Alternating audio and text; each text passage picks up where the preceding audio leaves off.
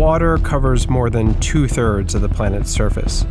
The ocean is the single most important ecosystem on Earth. It's also a vital part of global trade, but the vast majority of it is a lawless frontier. Breaking news this morning pirates off the coast of Somalia have struck again. It was taken over apparently by hijackers in the Indian Ocean about 300 miles off the Somali coast.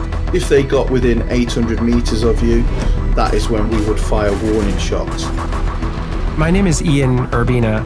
I've reported on some pretty mind blowing stories over the course of my career, but nothing like what happens at sea. Illegal fishing has been identified as the single greatest threat to achieving sustainable fisheries in the world today. Human traffickers are sending unwilling migrants to work on Thai boats. There are more enslaved workers today than at any other time in human history, and a large number of them are at sea. The largest ever criminal prosecution for intentional dumping and pollution by a ship. For this to be dealt with, the global system has to kick in. If you want to understand true crime, start where the law of the land ends.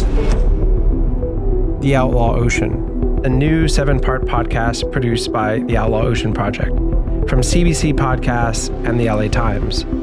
Available now wherever you get your podcasts.